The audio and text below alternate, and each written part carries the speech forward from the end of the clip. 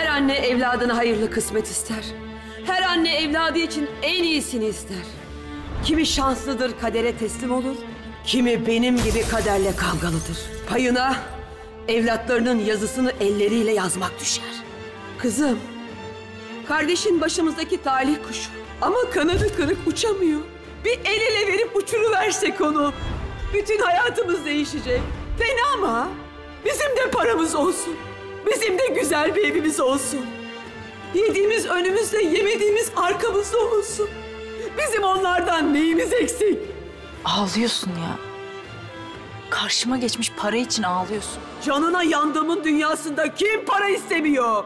Fazilet istemiş çok mu? Söyle çok mu? Yeni dizi Fazilet Hanım ve Kızları ilk bölümüyle 25 Mart Cumartesi akşamı Star'da.